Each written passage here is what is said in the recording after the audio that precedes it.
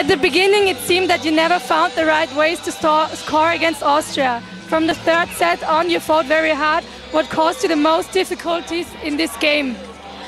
I think the most difficult thing was that we make enough pressure to, yeah, that the Austrian team um, cannot play as good as they were. As, as they were, yes.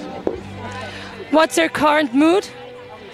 Um, I think we are a little bit. I don't know. Uh, what are we?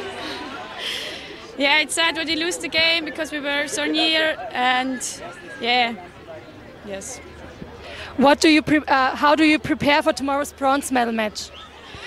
Um, I think we will call down and we will see that we played very very good and not as as bad as it yeah seems now, and yeah then go for the bronze medal.